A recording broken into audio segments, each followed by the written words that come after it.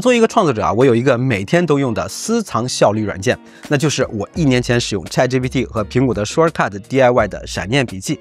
那到现在已经超过七千多个人下载这个捷径，好评如潮。那在过去的一年里啊，我对它持续的改进，呃，增加了新的功能。那今天我给大家带来了它的二点零版本，免费送给大家。我保证，热爱效率的你一定会非常喜欢这个闪念笔记二点零。那我知道没有使用过上个版本的观众可能会好奇啊，那这个闪念笔记到底是个啥东西？它本质啊是一个灵感捕捉器，它能够让我在有想法的时候，随时通过 iPhone、Apple Watch 或者 Mac 语音捕捉住，用 AI 转录成文字，存储到目标笔记进行润色，提取里面的任务，建立 To Do List。它甚至包含了 Whisper AI 语音键盘，让你无论在 iPhone 上还是 Mac 上，呃，都可以使用 OpenAI 的语音转录进行快速的输入。那我知道你会说这有啥了不起的呀？市面上这种软件多了去了，很多还是免费的。对我们先不说，呃，有些软件实际上是从呃闪念笔记里获得灵感，但就我自己跟很多朋友的实际使用体验来说啊，呃，在尝试过其他的付费或者免费的竞品之后呢，最后总会回到我的闪念笔记上。那这一点啊，我们视频最后再说。所以啊，在这个视频里，我会介绍闪电笔记二点零的使用方法，为大家提供一个超级详细的保姆级图文教程。最后，我会聊聊，呃，我这一年来使用 AI 工具的三个重要心得。那闪念笔记二点零其实是一整套效率软件了，呃，共包含五个 shortcuts。那核心的闪念笔记 shortcut 做了功能上的更新，然后我又重新设计了全新的 shortcut 来支持和 Apple Watch 配合使用。那 Whisper 键盘呢做了设计上的改进。那我们从闪念笔记二点零开始啊，呃，当我大脑突然有灵感闪现时呢，我会拿起手机。按下 Action Button，那如果没有 Action Button，你可以设置双击 iPhone 背面调出菜单，选择闪念笔记2.0，然后呢，Shortcut 会提示目标笔记，选择闪念笔记，然后对着屏幕讲出你的想法。那点击屏幕停止录制，录音会被传送到 OpenAI 的 Whisper 模型，被转录成文字，他们会保存到 Apple Notes 里一个叫做闪念笔记的文件夹里。你一天所有的想法呢，都会被收集到这个以当天命名的笔记当中。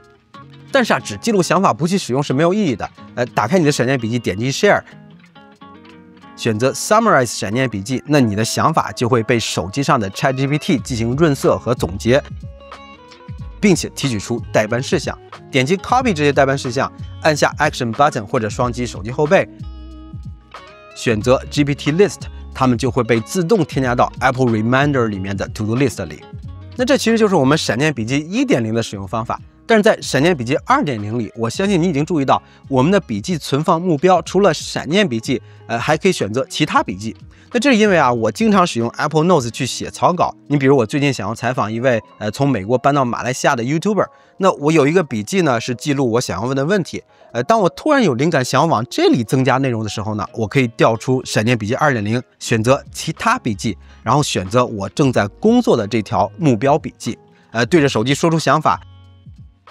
那新内容就会被增加到目标笔记。那除了增加这个新的目标笔记选择，我还做了其他的改进。你比如有时候 OpenAI 的 API 不稳定，或者网络中断，或者 Shortcut 的运行不稳定，没能成功执行。那这时候呢，会导致录音没有被记录下来。那闪念笔记2.0可以保证在出错的情况下，你的语音也会被完整的保存到笔记当中，让灵感不丢失。更棒的是啊，你还可以。重新对它进行语音的转录，那这就是我制作的一个全新的 shortcut 的功能之一。闪电笔记二点零新增 shortcut，加入转录到笔记，解决五个需求。不过啊，在继续介绍这个功能之前啊，我想先回答你现在可能有的一个疑问，就是我现在使用这个 demo 软件来展示的这个脑图是一个什么样的软件？那实际上不光你有这个疑问，在我过去的很多视频下，有非常多的观众留言都问哦，你使用的这个脑图软件到底是什么呀？那它就是本期影片的赞助商 Milanote。那我本人呢，已经是他们的五年的忠实用户了。我这么喜欢它，是因为，呃，作为 YouTuber，我的很多想法都需要通过视觉来呈现，而 Milanote 就是这样的一个功能强大的视觉类笔记软件。那每次做视频，我都会整理很多的资料，而且我的思维是跳跃的，呃，喜欢乱写乱画，用很多的视觉符号来代表我的想法。我不喜欢被特定的格式束缚。那 Milanote 呢，就像呃侦探电影里使用的那个线索板。它能帮助我灵活的组织想法。那如果说我的闪念笔记是对大脑里的声音灵感的捕捉整理，那么 Milanote 就是对我视觉思维的收集和重构。那它强调视觉呈现，有大量的模块来帮我呈现想法、收集和整理材料。那它很灵活，你可以使用它们内置的精美模板，创建自己的模板，或者像我一样无束缚的自由安排模块。那我过去有专门的视频介绍它的用法，那推荐大家去看一看啊。Milanote 可以免费使用，也有付费版，那功能是一样的，只是存储空间不同。那它有网页、手机和 iPad App，也支持在线分享和协作。那我去年就升级到了他们的团队版，就是为了利用它的协作功能，帮我更好的进行社群运营和。内容创作，所以啊，强烈推荐大家点击评论区的链接来注册免费账户，尝试一下。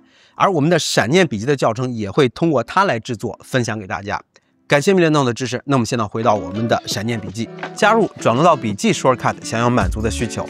第一，实现 Apple Watch 搭配闪念笔记的功能。那很多时候啊，我们有了想法之后，想立即说出来，不想等待闪念笔记的耗时处理。那这时候你可以直接抬起手腕，在 Apple Watch 上录音。呃，当你文思如泉涌的时候，你可以一条一条的不断录音，让自己说到爽，不被中断。当你想要对这些想法进行整理的时候呢，拿起 iPhone，打开 Voice Memo，找到。Watch recordings，编辑选择想要整理的录音，Share 选择加入转录到笔记，选择目标笔记即可。那我自己的使用经验是一次可以成功的处理六条左右的录音，每段录音最好不要超过两分半。当然，你没有 Apple Watch 也没有关系啦，使用 iPhone 和 Mac 的录音也可以的。那有时候闪电笔记可能因为呃 OpenAI 的服务不稳定，呃网络问题导致没有转录成功。那我们可以对保存下来的语音文档呢，重新进行转录，长按录音 Share，加入转录到笔记，选择目标笔记即可。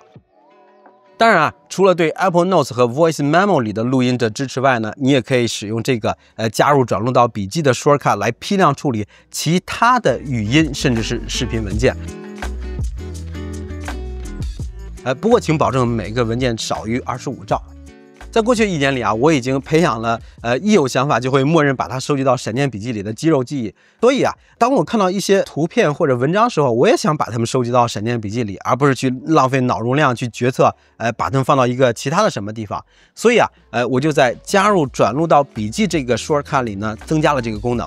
你比如，呃，我在 X 上看到别人推荐的一本书不错，那我就会截图 share，呃，选择加入转录到笔记，把它呃收入到对应的笔记当中。那看到一个 YouTube 视频不错，也可以用同样的方法收集起来。那这个新的 Shortcut 我已经使用了好几个月了，呃，我的经验是我使用它会比之前的闪念笔记要多得多，因为我的想法经常是呃一股脑来很多，用 Apple Watch 随时记录，不需要等待，能减少很多思维上的摩擦。哎，我相信你在使用一段时间后也会有相似的体会。OK，下一个 Shortcut Whisper 键盘。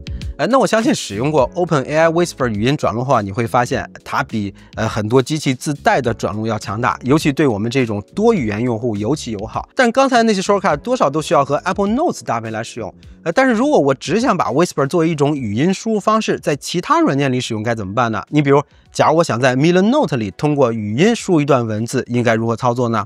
那 Whisper 键盘就是来解决这个需求的。在手机上啊，启动 Whisper 键盘 shortcut，呃，冲着手机说话。点击屏幕结束，那 Whisper 键盘会把转录的语音文字放到剪贴板，然后直接粘贴到文本框就可以了。那同样的，Whisper 键盘在使用的时候，有时候会因为网络或者软件问题导致转录失败。那在新版本当中呢，我增加了一个语音文档备份，你所有的录音和转录文本都会被备份到这个闪念笔记文件夹里的这条笔记当中。呃，在需要的时候，你可以通过呃加入转录到笔记重新转录。那如果你不需要这个功能，你也可以参考教程把它关闭。OK，那以上就是闪念笔记二点零的主要更新和使用方法。那这些 shortcut 详细的安装教程以及更多的注意事项如何获取呢？请大家去视频描述和评论区去寻找链接。那在视频最后，我还想分享在过去一年里我使用 AI 工具的三个重要的心得。第一，Apple Shortcut 配合 AI 的 API 是普通人使用 AI 编程。制作属于自己的 AI 软件的最有效途径。我认为学习 Shortcut 功能会是一个非常好的投资。我相信你一定听到过所谓呃非程序员可以使用 AI 编程做软件的说法。呃，这其实对大多数普通人还是有些遥远的，因为使用 AI 工具做出来的这个软件呢，可以是一个原型，但是它距离一个成熟可以使用，甚至可以跑在你手机上的软件是有些距离的。但是通过 Apple Shortcut，我们可以利用苹果现有的软件和生态来打造立即可用的软件，而且体验并不比那些付费的差，甚至会更好。那就拿闪电笔记来说吧，市面上有很多的竞品，呃，他们都集成了自己的笔记功能，但是他们有两个明显的缺陷。第一，他们很多都是每月固定的费用，但闪电笔记支付的是 API 的使用价格，用多少花多少，不用不花，而且很便宜。第二，竞品语音笔记的很多功能更像是，呃，为了一碟醋包了顿饺子。那这里的醋就是语音转录功能，而笔记功能就是那顿饺子。那这些笔记很少有能超过 Apple Notes 的使用体验，更不要提去和苹果生态来做联动了。而且这些软件可能会消失，所以当你在使用他们的语音转录功能的时候，你还不得不去适应他们糟糕的笔记操作，甚至去改变自己的工作流。那这就引出了我的第二个感悟：在 AI 时代，我们应该让软件去适应自己的工作流，让自己的工作流和软件同步改变，而不是去适应软件的固定逻辑。在闪电笔记一点零发布以后，很多观众都根据自己的需求，呃，对它进行了修改，做出了自己的版本。那这就是为什么我会在呃试过很多所谓的竞品软件之后，还会回到我自己的闪电笔记，因为它可以跟着我，按照我的想法去进化，实时的调整。所以我强烈建议你去拆解我的 Shortcut，从他们获得灵感，来创造自己的 AI 应用。第三个感悟，那现在 AI agent 非常流行啊，但是我想给这股热情呃稍微泼那么一点点冷水。呃，这是因为啊，很多人对 AI agent 的期待是，呃，给他一个任务，他能够帮你完美的执行。那这对生成一些消费类的内容，呃，或者执行一些重复性的操作，绝对是可行的。但是，呃，对于附加值更高的创造类工作，我认为不太现实。因为从根本原理上来说，你的创作之所以被叫做你的创作，是因为有你的输入和输出。所以，使用 AI agent 去创作，呃，不可以缺少你的输入。创作者和 AI agent 的关系更加是一种互动的关系，呃，是一个指挥、委托、监督和干预的艺术。所以，作为创作者啊，想要用好 AI 工具，我们首先要从本质上了解自己的专业和工作流，然后了解 AI 工具的工作原理。只有这样，你才能做到和 AI 一起进化。那未来呢，我也会分享更多的我使用 AI 创作的方法和心得，欢迎大家的关注。OK，那感谢大家，感谢 Milano 的支持，那我们下期视频再见，拜拜。